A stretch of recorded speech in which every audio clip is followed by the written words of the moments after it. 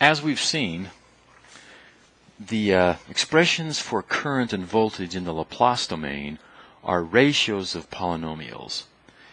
V of s, I of s will be of this form with a numerator polynomial that we're going to call n of s and the denominator polynomial we're going to call d of s.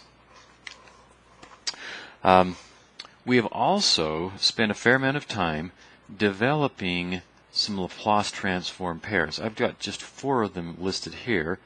You can get complete tables of Laplace transform pairs off the internet or out of your textbooks.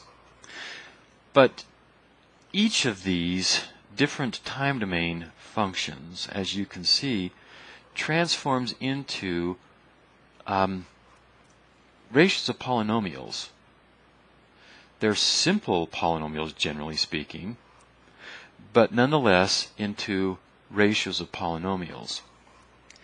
So our approach to performing this inverse Laplace transform uh, process, in other words, our approach to taking a Laplace function of either a current or voltage back into the time domain so that we have a time domain function for the current or voltage is going to be to take this type of expression and break it up into partial fractions.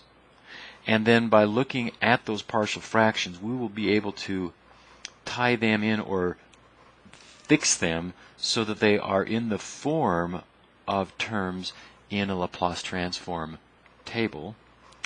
And by getting them into those forms, then we would then be able to take it back into the time domain, realizing that some constant over s plus a corresponds to a time domain function of that same constant times e to the minus at.